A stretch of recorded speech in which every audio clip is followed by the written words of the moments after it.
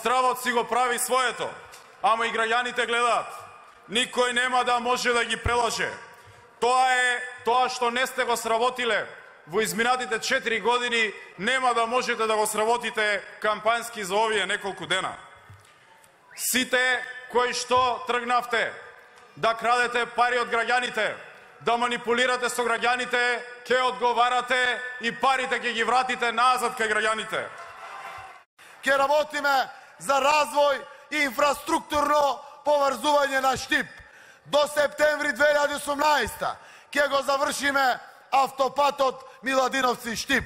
Продолжуваме веднаш и дел од проектите се почнати. Штип ќе се поврзе со Кочани преку изградба на експресниот пат во должина од 28 километри и продолжуваме се понатаму до сите градови во источниот дел на Македонија.